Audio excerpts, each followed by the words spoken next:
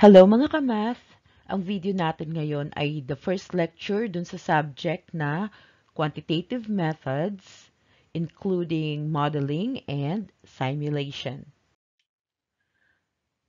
Sa video na to, we will just discuss the, at hihimayin natin yung definition ng quantitative methods. So what is quantitative methods?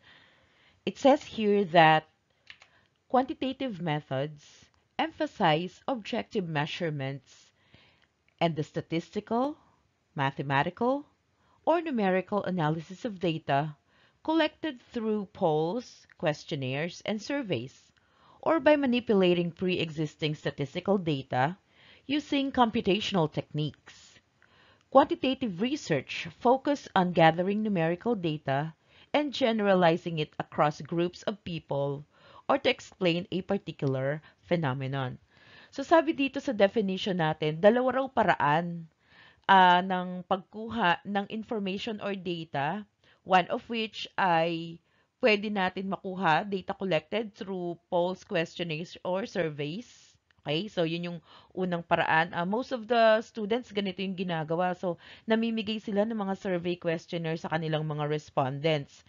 Pero meron pang isang paraan at yon ay by manipulating pre-existing statistical data using computational techniques.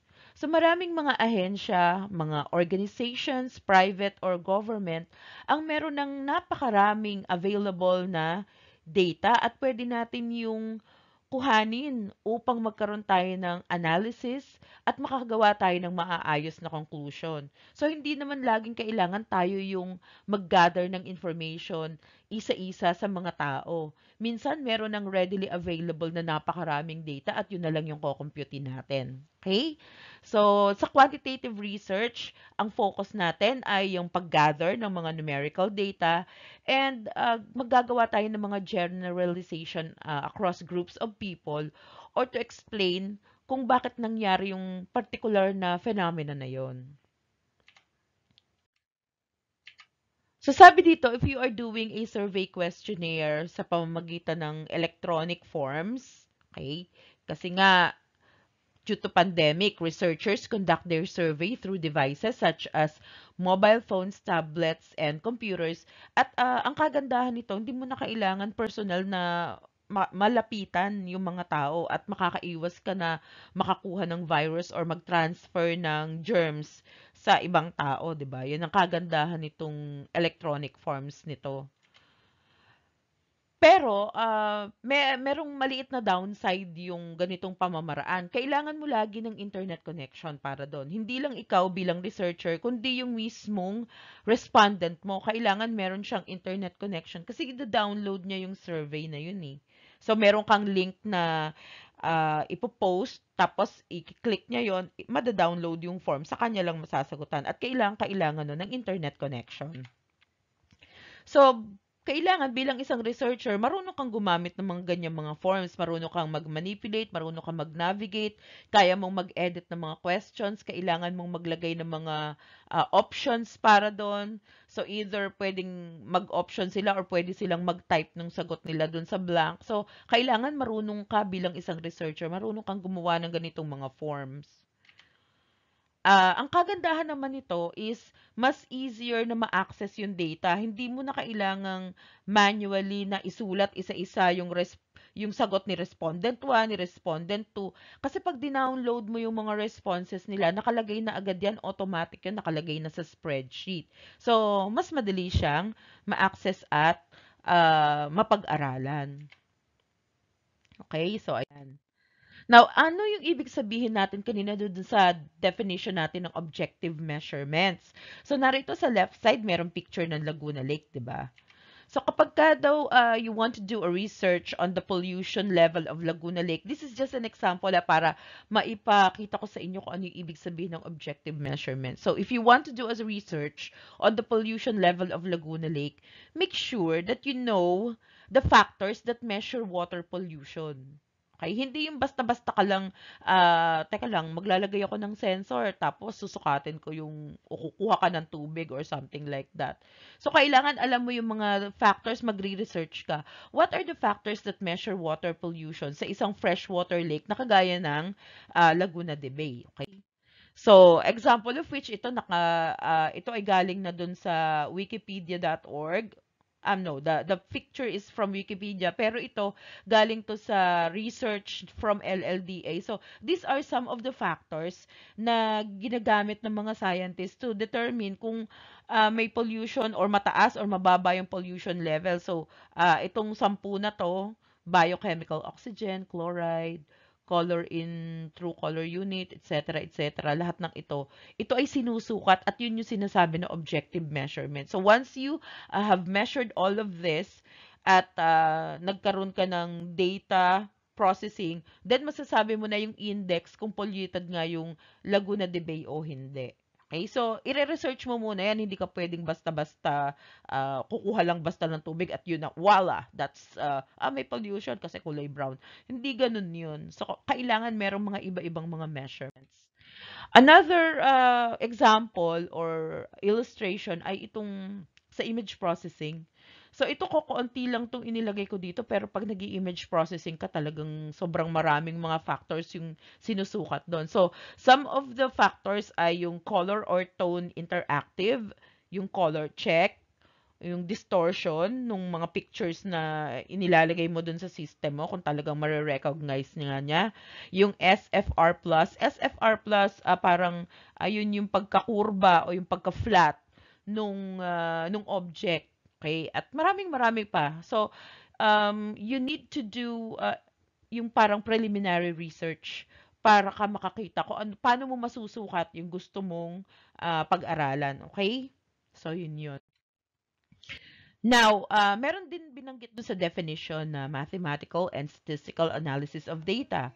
So, yung data natin, kailangan alam mo muna kung paano siya i-identify, okay? So, sabi nga, pag nag-research ka, we have two types of data, yung categorical, yung sagot nila na puro mga words, at saka yung numerical data na quantitative. Although yung mga categorical data later on can be uh, translated into numbers, pero hindi muna natin uh, siya masyadong pag-aaralan ngayon. Uh, mas unahin muna natin tong talagang numerical. Yung ang sagot talaga ng mga tao ay numero na muna. So, the numbers are of two different kinds pa rin. No? Nahati siya. Isang discrete at saka isang continuous. So, uh, ano bang kaibahan ng discrete at saka continuous data? So, ito yung example ng discrete data. So, ito yung mga whole number, yung systolic and diastolic blood, uh, blood pressure reading na nakikita mo doon sa electronic na yan. 120 over 70. So, ito yung systolic, ito yung diastolic. Ang tawag dyan sa dalawang numero na yan ay discrete data. Okay? So, yung mga scores natin sa basketball, kasi hindi ka naman pwede mag-score ng 7.5 or 12.8, di ba? So, mga whole number yan. Kaya, discrete pa rin yung category niya. And then, yung bilang ng mga tao, number of admitted patients in a hospital per day, that is still considered as discrete data. Kasi whole numbers yung uh, mga sagot doon. At ano naman yung kaibahan nun sa continuous data? So, examples of which are scores in a gymnastic competition. Napapansin nyo dito, di ba, may mga decimals. So, kapag ka meron na tayo mga decimal numbers, it is already continue, uh, considered as continuous data. Uh, another uh, thing is yung sa temperature na yung ginagamit mo na thermometer ay uh, digital scale, meron siyang decimal, so yan. At saka yung ray gun used to measure speed. So nakalagay dito 72.56 so, so or something like that. So those are examples of continuous data. Pero hindi laging hindi siya buo. So you can still consider halimbawa may nagsagot dito na 7. Okay? pwede pa rin siya consider. So, decimals and whole numbers together or combined can be considered as continuous data. Pero pag purely whole number siya, discrete ang tawag sa kanya. Tapos, ano yung mabilis na mabilis lang to? Ano yung sinasabi na data processing? So, ang unang-una nating uh, gagawin about data processing ay yung mga free frequency distribution table na kung saan binibilang natin kung ilan yung mga respondent natin. Of course, ito yung total nila. At saka i-convert natin siya sa percentage kasi uh, mahalaga sa paggagawa ng mga conclusion itong uh, pag nakuha natin yung percentage ng mga tao na sumagot or uh, whatever yung category na nilagay natin dito sa uh, sa sa part na to kay ng variables natin. Another one ay yung data processing uh, natin ay yung paggagawa ng mga graphs. So, either gagawa tayo ng mga bar graphs or pie graph at saka itong histogram. Itong histogram ay statistical um, representation ng data natin. Of course, magkaiba yung bar graph dun sa histogram. Napapansin nyo naman, di ba, yung bar graph may mga spaces in between. Yung histogram ay hindi. Mer dikit-dikit talaga siya. So, dadaanan natin yan. And then yung measures of central tendency, which are the mean, median, and mode. I think you are already familiar with this. So, uh, uh, babalikan natin siya.